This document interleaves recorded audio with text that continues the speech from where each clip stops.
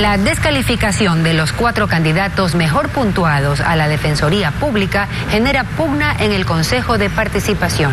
La Comisión de Selección abandonó el proceso por inconformidad con lo actuado. Una de las descalificadas asegura que no hay pruebas suficientes en su contra. Denis Molina con los detalles.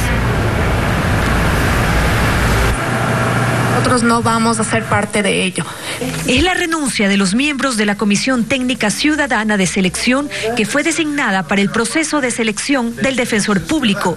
Lisette Álvarez, coordinadora de esta comisión, señala que no aceptan la descalificación de los cuatro mejores puntuados, decisión tomada este martes por el Consejo de Participación Ciudadana. Nosotros sí establecimos la meritocracia de cada uno de los postulantes, probidad e integridad y sobre todo idoneidad.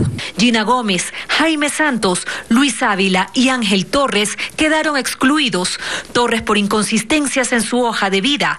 Luis Hernández señala en un documento que el postulante menciona que es abogado desde el año 1989, mientras que en su título consta desde el 2003. Mientras que Gina Gómez fue descalificada por deudas con el Estado. Obligaciones pendientes en el SDI que he sacado el día de hoy, hace unos pocos minutos. Gina Gómez se defiende ante esta acusación. Dice que no pudo ni siquiera defenderse en la impugnación y muestra el certificado de cumplimiento tributario por parte del Servicio de Rentas Internas. El señor que me había impugnado diciendo que yo no estaba al día en mis impuestos yo tenía el certificado del servicio de rentas internas que da la web. Esperé todo el día y mi impugnante que estuvo ahí todo el día de pronto desapareció.